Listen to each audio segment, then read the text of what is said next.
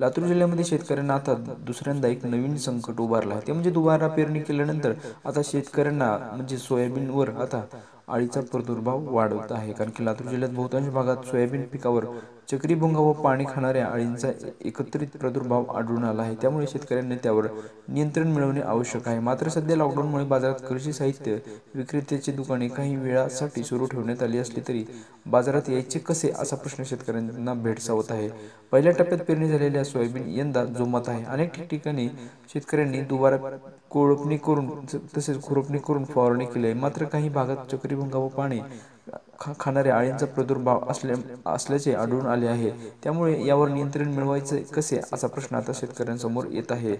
तसेच शेतकऱ्यांनी सोयाबीन बि बियाणे पेरण्यापूर्वी बीज प्रक्रिया करून घेतली पाहिजे. अतिशय कमी खर्चात होणारी प्रक्रिया आपण दुर्लक्षित करीत असल्याने चक्रीभुंगी पाने कुरतडी आळी लागत असल्याचं सांगण्यात येत आहे.